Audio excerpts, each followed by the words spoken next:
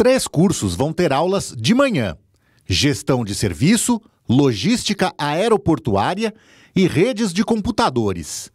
Dois têm aulas à noite: análise e desenvolvimento de sistemas e comércio exterior. Todos esses cinco cursos que eu citei têm 40 vagas cada.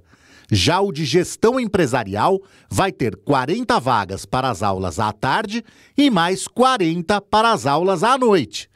As inscrições podem ser feitas até a próxima segunda, dia 11, pelo site www.vestibularfatec.com.br, onde também dá para encontrar mais informações. A taxa de inscrição é de 70 reais, mas os cursos são gratuitos. A aplicação das provas vai ser no dia 8 de dezembro, a partir da uma hora da tarde.